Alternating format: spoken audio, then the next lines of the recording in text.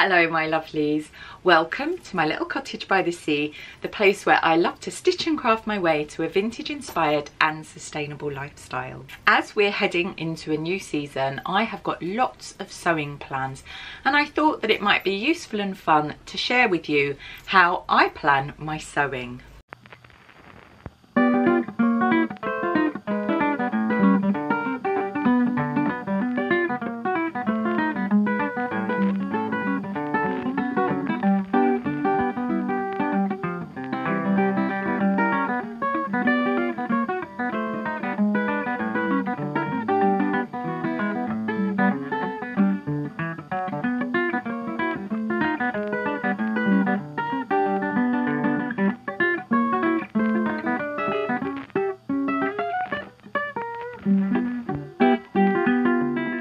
Now, one of the things that has always been important to me, but is increasingly even more important to me, is sustainability and intentional sewing.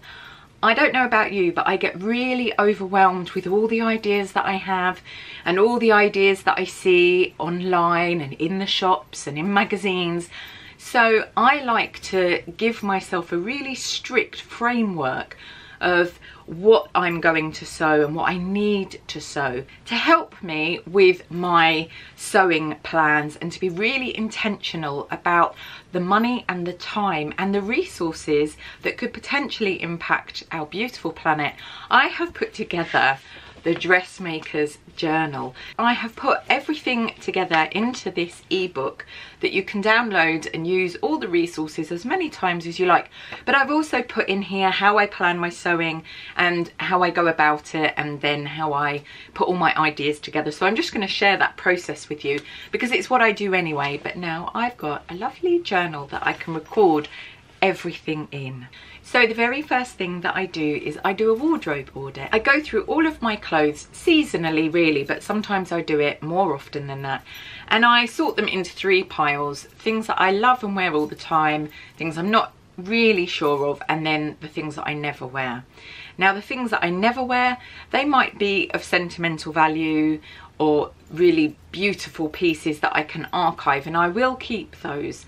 But if they're something that I just don't wear because I've got a really negative memory of them or they make me feel awful then they go and if something doesn't fit unless I can do something to change that that item of clothing goes I recycle it give it to charity see if a friend wants it if I'm unsure of things it might be because they need to be repaired or I might not have pieces that will link all of those unworn items together. That then goes into my must make list.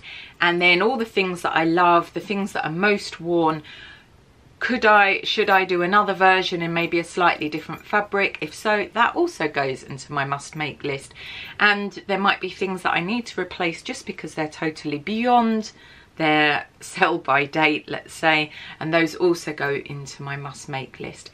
Then what I do is I go through all of my patterns and my fabrics and I see if I've got patterns that are suitable. I do lots of research. I go through my many scrappy sketchbooks that I keep and these are filled with inspiration vintage pictures, postcards, doodles from exhibitions, fabrics and so on. And I get a really good picture of the things that I'm wanting to make. And I record these in mood boards so I print loads of stuff out off of my Pinterest boards because I've got lots of those in Pinterest land and I put together a mood board. And I've put these really lovely seasonal ones in here for you to use.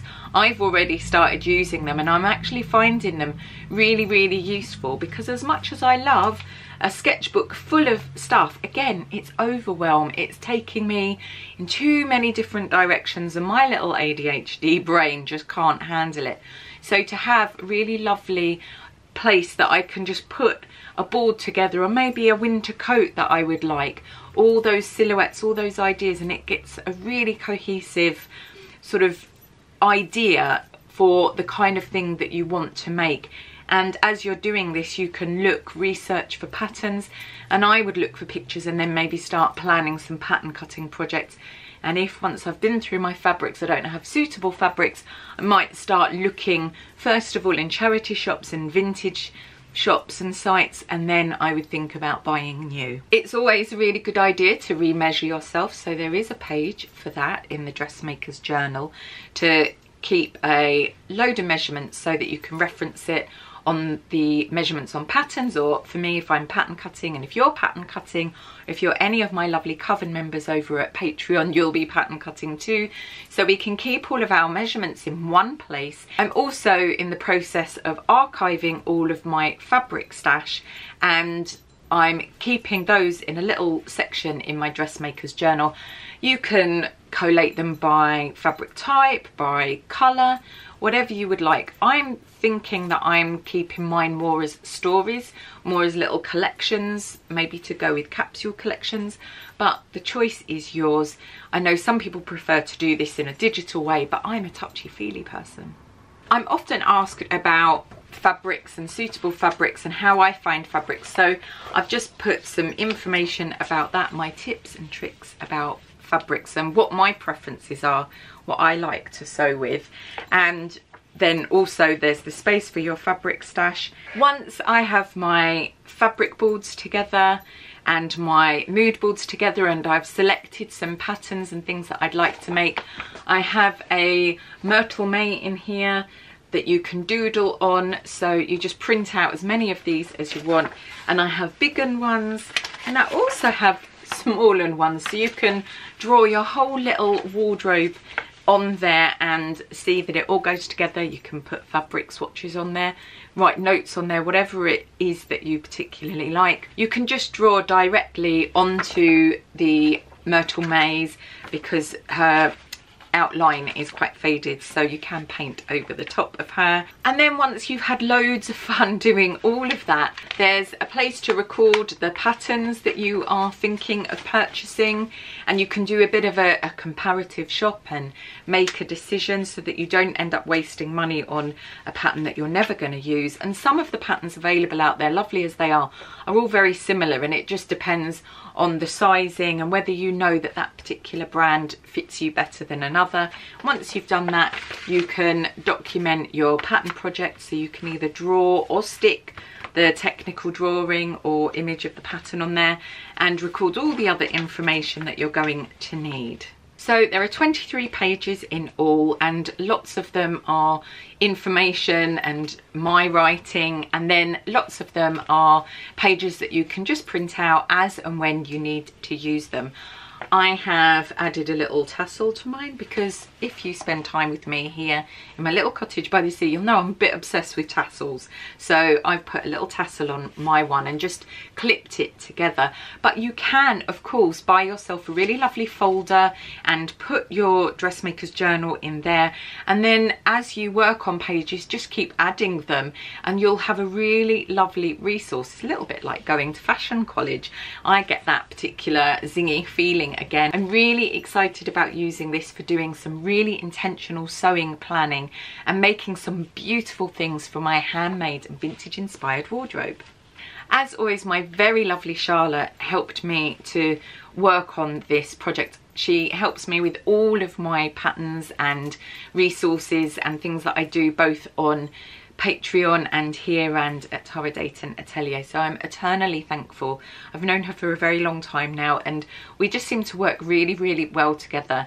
She took all my little doodles and less than brilliant drawings and created something really wonderful and just a little heads up this Myrtle May is going to be appearing on a few other choice items in my shop before too long. You'll have to keep your peepers peeled for that one. It's been a really wonderful experience putting together the dressmaker's journal and collating how I plan my sewing this is basically how I go about it but before this I would do this just on random bits of paper and in sketchbooks and scrapbooks. But now I have a fabulous really cohesive way in which I can do all my sewing planning. It's been an absolute dream of mine to work on my very first ebook that you can find in my shop on my website but there's absolutely no pressure to get a copy should you not want to. I hope that you've benefited from some of my ideas anyway on how I plan my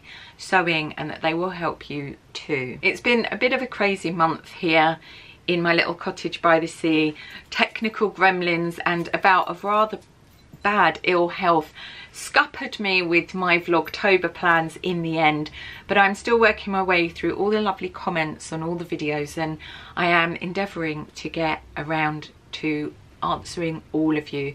I really appreciate you taking the time to correspond with me, to give me such positive and kind feedback. It really does help and I'm really appreciative that you do that. I've dedicated my dressmaker's journal to all you kindred spirits who endeavour to make the world a better place one stitch at a time. And it fills my heart with love and gratitude to know that you share this wonderful sewing adventure with me do let me know if you have any tips and tricks about planning your sewing. It would be lovely to hear.